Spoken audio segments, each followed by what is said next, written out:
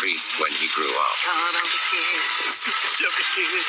Look at them in their cage. Rod says that he wants to take revenge on his ex classmates. Does this sound familiar? But what really happened to this person?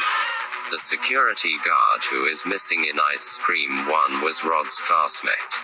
He had the misfortune to taste one of Rod's poisoned ice creams and disappeared forever.